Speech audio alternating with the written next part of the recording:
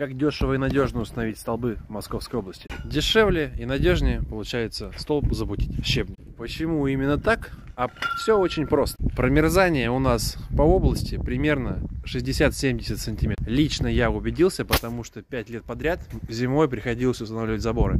И где бы я ни был, по Московской области. Именно такое промерзание я и заметил. Именно поэтому мотобуром пробурил где-то порядка 80-90 сантиметров, а остальные 20-30 сантиметров сверху забиваются кувалдой. Именно для того, чтобы снизу почвы, там где она не промерзает, стол был зафиксирован, его не выдавило зимним пучением. А хейтеры могут взять ПНД трубу, залить в эту ПНД трубу раствор, насмотревшись видео на ютубе, и тем самым радоваться жизни, что они сделали как на ютубе, да.